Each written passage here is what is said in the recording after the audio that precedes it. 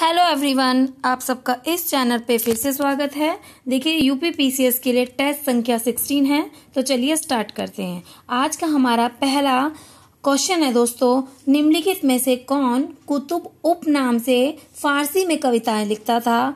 तो बताइए कौन सा जवाब इसका सही होगा? सिकंदर लोधी, जैनुल आबदीन हुसैन शाह सरकी या महमूद खिलजी?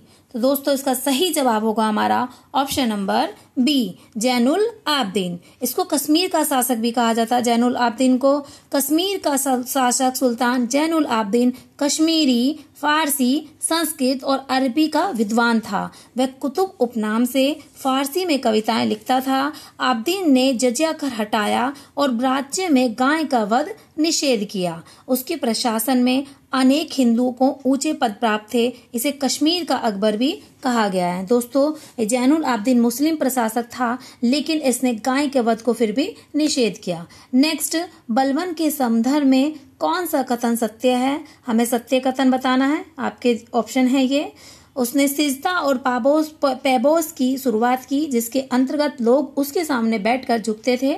ये सही है। उसने भारत में नवरोज त्योहार की शुरुआत की। ये भी सही है। दीवान ने विजारत वित्त विभाग से संबंधित था ये भी सही है। तो इस कारण इसका ऑप्शन नंबर डी सही जवाब होगा। बलवन का जो कार्यकाल रहा है दोस्तों, वो बारह से बारह तक रहा है। इसने लोह की नीति को अपनाया। बलवन ने चालीसा दल का दमन किया। मंगोलों का मुकाबला करने के लिए उसने एक सैन्य विभाग, दीवान ए अर्ज़ की स्थापना की। आपको ये याद रखना है कि दीवान ए अर्ज़ कौन सा विभाग है? सैन्य विभाग। दोस्तों, ये यूपी पीसीएस में हमारा मिलान के लिए पूछ लेता है तो आपको एकदम ये अच्छे से याद रखना है कि दीवान अर्ज़, सैन्य विभाग। दोस्तों, हमारा नेक्स्ट क्वेश्चन अलाउद्दीन खिलजी के संदर्भ में कौन सा कथन सत्य नहीं है? अब हमें हमें गलत कथन बताना है, दोस्तों। तो इसने सीरी को अपनी राजधानी बनाया एकदम सही है। उसने राजस्व बकाया के लिए दीवाने मुक्त खराज विभाग की स्थापना की, ये भी सही है। उसने दीवान अर्ज़ विभाग की स्थापना की, ये गलत है गलत है, क्योंकि ये किसने चलाया था? ये बलवन के समय का था, ये अलाउद्दीन खिलजी के समय का नहीं था तो ऑप्शन नंबर बी इसका सही जवाब होगा। दीवान अर्ज़ की स्थापना जो है, वो बलवन द्वारा की गई थी। अलाउद्दीन ने सिकंदर सहानी की उपाधि धारण की, उसे अपने सिक्कों पर अंकित कराया। सानी उपाधि को इसने अपने सिक्कों पर अंकित कराया।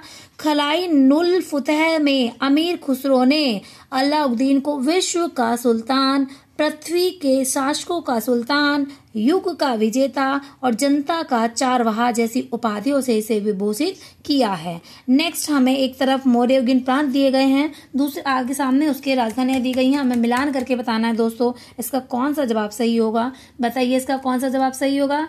तो बताइए, अवंती राष्ट्र की राजधानी कौन सी थी दोस्तों? अवंती राष्ट्र की राजधानी थी दोस्तों, उज्जैन। कौन सी थी? उज्जैन। वहीं हमारी दक्षिणा पथ की राजधानी थी स्वर्णगिरी। ध्यान रखिएगा, दक्षिण में स्वर्ण बहुत होता है तो दक्षिणा पथ की राजधानी हमारी क्या थी? स्वर्णगिरी। वहीं हमारी प्रासी की राजधानी क्या थी?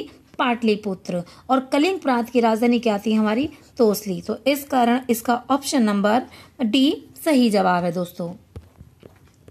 नेक्स्ट है, भारत के संघीय न्यायालय के बारे में कौन सा कथन सत्य है? आपके सामने दो कथन दिए गए हैं। आपको बताना कौन सा सत्य है। जो संघीय न्यायालय की स्थापना 1 अक्टूबर 1935 को हुई थी। दोस्तों, ये एकदम सही जवाब है। इसके प्रथम न्यायाधीश सर मौर्य ग्लेवर थे। ये भी एकदम सही जवाब है। 1935 सॉरी, ये 1935 अधिनियम में हुई थी। जो भारत सरकार का अधिनियम आया था 1935 उसके अंतर्गत हुई थी, लेकिन ये जो न्यायालय की स्थापना हुई थी, वो उन्नीस में हुई थी दोस्तों। और इसके प्रथम न्यायाधीश सर मॉरिव ग्लेवियर थे। आपको ये ध्यान रखना है, आपको जो पहला वो न्यायालय स्थापित किया गया था, उसका भी सर एलिजा एम्पे उसके मुख्य न्यायाधीश बने थे। और जो हमारा संघीय न्यायालय था, जो आगे जाके सुप्रीम कोर्ट बनेगा, उसके प्रथम मुख्य न्यायाधीश कौन थे? Sir Morris ग्लेवियर। भारत शासन अधिनियम 1935 के अंतर्गत संघीय न्यायालय की स्थापना उन्नीस सौ सैंतीस में की गई थी। सन 1950 में इसे भारत के सुप्रीम कोर्ट के रूप में कार्य करना प्रारंभ कर दिया। सर मॉरिस ग्रेवियर ग्वेयर, प्रथम मुख्य न्यायाधीश थे। नेक्स्ट है, हमें बताना है, सामने जो लिखा है उसके वो सही है या गलत है? संघ शासित क्षेत्र अधिनियम के सामने लिखा है उन्नीस राष्ट्रीय राजधानी क्षेत्र अधिनियम उन्नीस सौ इक्यानवे और संसद अधिनियम 1959 वहीं सीमांकन अधिनियम 2002 तो दोस्तों, इसका सही जवाब होगा ऑप्शन नंबर डी, क्योंकि ये सारे के सारे सुमेलित हैं। संघ शासित क्षेत्र अधिनियम कब बना था? उन्नीस में। राष्ट्रीय राजधानी क्षेत्र कब बना था? 1991 में। संसद अधिनियम कब बना था? 1959 में और सीमांकन सीमांकन अधिनियम कब बना था? 2002 में। नेक्स्ट है, भारत संघ के राज्यों का पुनर्गठन किया जा सकता है। अथवा उसकी सीमा में परिवर्तन किया जा सकता है। तो बताइए, इसका कौन सा जवाब सही होगा दोस्तों? आपके सामने चार ऑप्शन दिए गए हैं। आपको बताना है क्या, कि मतलब किस, किससे ये हो सकता है। तो दोस्तों, इसका सही जवाब होगा हमारा संसद द्वारा विधान की सामान्य प्रक्रिया में साधारण बहुमत से। राज्यों का पुनर्गठन किया जा सकता है या उसकी सीमाओं में परिवर्तन किया जाता है। संसद की द्वारा विधान की सामान्य प्रक्रिया में साधारण बहुमत द्वारा संशोधन किया जा सकता है। और संविधान संसद को यह अधिकार देती है कि वह रा, नए राज्य बनाए उसमें परिवर्तन करने नाम बदलने या सीमा में परिवर्तन परिवर्तन के संबंध में बिना संबंध में बिना राज्य की अनुमति के कदम उठा सकती है। आपको ये ध्यान यहाँ पर रखना है बिना राज्य की अनुमति के। नेक्स्ट क्वेश्चन है दोस्तों निम्नलिखित में से कौन नदियों द्वारा निक्षेपण से निर्मित स्थला करती हैं? बताइए इसका सही जवाब कौन सा होगा? तो दोस्तों, इसका सही जवाब होगा हमारा। इसका जो है जलोड़ पंख जो है, वो नदियों के निक्षेपण से होता है दोस्तों। गोखुर झील है, वो भी नदियों के निक्षेपण से निर्मित स्थला करती है, और वहीं डेल्टा भी नदियों के निक्षेपण से बनता है। वही संरचनात्मक सोपान जो है और नदी वेदिकाएँ जो हैं, वो अपर्दन अपर्दन से बनती हैं। जब नदियों को, नदियों चलती बहती रहती हैं, उससे वो साइडों में जो अपर्दन करती हैं, उससे ये दोनों हैं, निर्मित होती हैं। तो इस कारण इसका ऑप्शन नंबर ए सही जवाब है। नेक्स्ट स्थिर जल में तेल का छिड़काव मच्छरों के प्रजनन को किस प्रकार रोकता है? आपके सामने चार ऑप्शन दिए गए हैं। बताइए सही जवाब क्या होगा दोस्तों? इसका सही जवाब होगा दोस्तों, जो तेल का छिड़काव है, वो पानी में इसे पृष्ठ तनाव को घटा देता है। तेल जल के पृष्ठ तनाव को कम करता है। इसके परिणाम स्वरूप मच्छरों के लार्वा जो होते हैं, वो डूब जाते हैं और प्रजनन के लिए लार्वा को पर्याप्त समय नहीं मिलता। इससे मच्छर के प्रजनन पर अंकुश लगाने में सहायता मिलती है। नेक्स्ट जब एक प्रकाश कुंज कोलाइड्री विलियन या फाइन पार्टिकल पर, पार्टिकल्स पर पड़ता है तो पुंज का मार्ग दृष्टिगोचर होता है। इसका कारण क्या है? बताइए इसका सही जवाब क्या होगा? तो दोस्तों, इसका सही जवाब होगा हमारा ऑप्शन नंबर, बताइए क्या होगा? Option number A, प्रकीर्णन। प्रकीर्णन एक भौतिक घटना है, जिसमें किसी माध्यम के अणु आने वाले विकर्ण को अवशोषित करने के बाद इसे सभी दिशाओं में बिखेर देते हैं। यह टिंडल प्रभाव को जन्म देता है। अब आपको टिंडल प्रभाव क्या होता है? टिंडल प्रभाव जब प्रकाश का कोई कोई किरण वातावरण के फाइबर पार्टिकल या कोलाइड्री विलियन पर पड़ती है तो एक पथ दिखाई देता है। इसे ही हम ट्रिंडल प्रभाव कहते हैं। नेक्स्ट है, निम्नलिखित कथनों में से कौन सा कथन सही है? आपके सामने तीन ऑप्शन दिए, चार ऑप्शन दिए गए हैं और तीन स्टेटमेंट दिए गए हैं। बताइए कौन सा जवाब इसका सही होगा? तो देखिए, विद्युत मोटर यांत्रिक ऊर्जा को विद्युत ऊर्जा में बदल देती है। तो दोस्तों, ये सही नहीं है। क्योंकि विद्युत मोटर जो है, वो विद्युत ऊर्जा को यांत्रिक ऊर्जा में बदलती है। तो इस कारण ये गलत है। तो हमें सही बताने हैं। तो ये कट गया और ये कट गया और ये कट गया ऑप्शन नंबर बी ही हमारा बसता है। तो विद्युत जनरेटर, विद्युत चुंबकीय प्रेरक के सिद्धांत पर कार्य करता है। ये एकदम सही है। लंबी गोलाकार कुंडली जिसमें विद्युत प्रवाह हो रहा हो के के केंद्र में चुंबकीय क्षेत्र सीधी रेखा के समानांतर होगा। ये भी एकदम सही है। दोस्तों, जो विद्युत मोटर है, वो हमारा विद्युत ऊर्जा को यांत्रिक ऊर्जा में बदलती है और विद्युत जो जनरेटर होता है यह यांत्रिक ऊर्जा को विद्युत ऊर्जा में बदलता है। यह विद्युत चुंबकीय प्रेरणा सिद्धांत के आधार पर कार्य करता है। नेक्स्ट निम्नलिखित कथनों के सही उत्तर बताएँ। हमें कथन और कारण दिए गए हैं। बताइए इसका कौन सा जवाब दोस्तों सही होगा? मांसाहारी जानवरों में कथन है हमारा। मांसाहारी जानवरों में छोटी आंत शाकाहारी के मुकाबले ज़्यादा लंबी होती है। तो दोस्तों ये गलत है। क्योंकि मांसाहारी जानवर जो होते हैं, वो माशा, मांस मतलब जो, वो मतलब कुल मिला के सेलुलोज होता है। सेलुलोज बोले तो जो हमारा शाकाहारी में पाया जाता है, वो कट, गलाना ज़्यादा कठिन, पचाना जो होता है, वो ज़्यादा कठिन होता है। तो पहला इसका कथन तो गलत हुआ। अब हम इसका कारण पढ़ लेते हैं दोस्तों। इस, ऐसे कथन और कारण वाले क्वेश्चन में दोस्तों एक अच्छी बात अगर एक एक भी कौन सा भी कट जाता है तो ऑप्शन अपना पता चल जाता है कि सही जवाब क्या होगा। अब हमारा ऑप्शन नंबर ए कट गया है तो डी इसका सही होगा, लेकिन फिर भी हम पढ़ लेते हैं। घास के पाचन में मांस के पाचन से अधिक समय लगता है। छोटी आत पाचन तंत्र का एक हिस्सा है दोस्तों। वही बड़ी आंत तक जाता है, जो खाना होता है, वो बड़ी आंत तक जाता है, जहाँ भोजन का अधिकांश भाग पाचित एवं अवशोषित है। सेलुलोज युक्त होने के कारण पाचित और अवशोषित होने में मांस से ज़्यादा समय लेता है, इसलिए घास खाने वाले शाकाहारी जानवरों की छोटी आंत लंबी होती है। नेक्स्ट, लेजर वह उपकरण है जो विद्युत चुंबकीय विकरण के उत्प्रेरित उत्सर्जन पर आधारित प्रकाश प्रवर्धन की प्रक्रिया के ज़रिए प्रकाश का उत्सर्जन करता है, इसका उपयोग होता है। आपको बताना है लेजर का उपयोग कहाँ होता है? फाइनली ये पूछा इस क्वेश्चन में गया है। तो बताइए कहाँ होता है?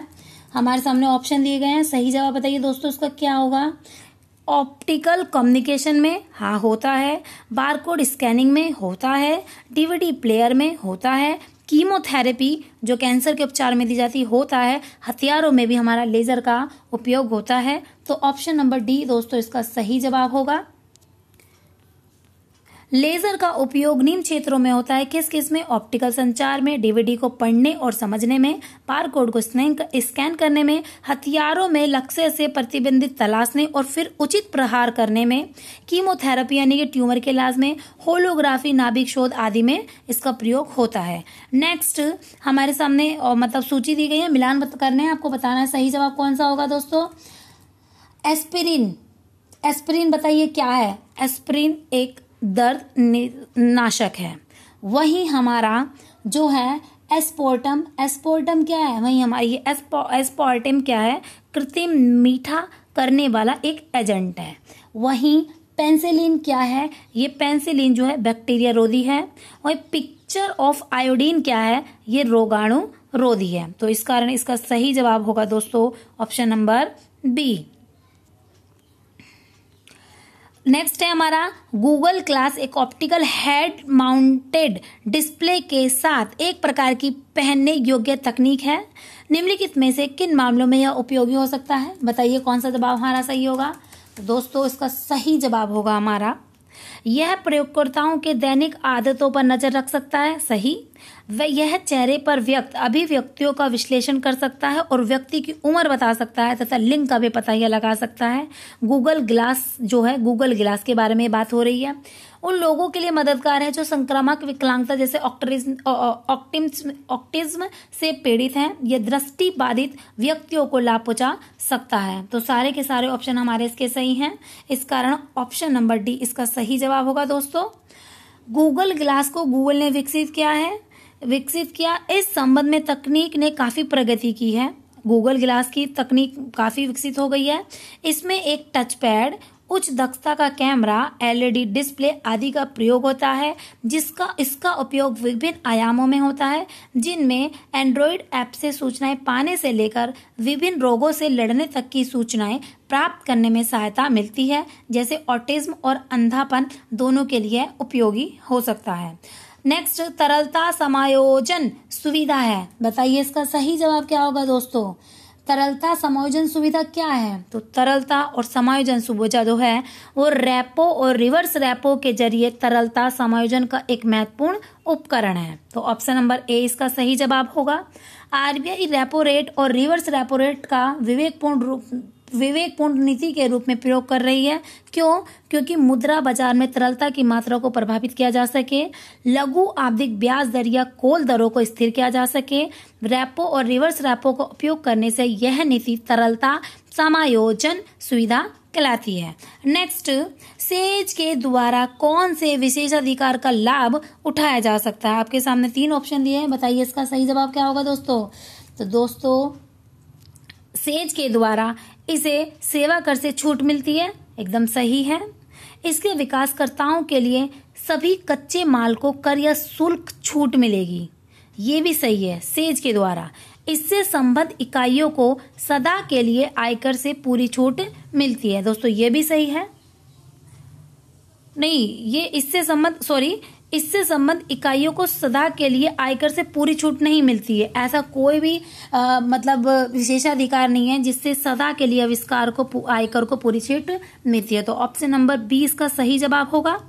विशेष आर्थिक क्षेत्र यानी कि सेज स्पेशल इकोनॉमिक जोन का विकास करने का प्रमुख उद्देश्य निर्यात प्रोत्साहन करना है, यानी कि निर्यात को बढ़ावा देना है। क्या करना है? निर्यात को, सेज का जो उद्देश्य है दोस्तों, वो निर्यात को बढ़ाना है।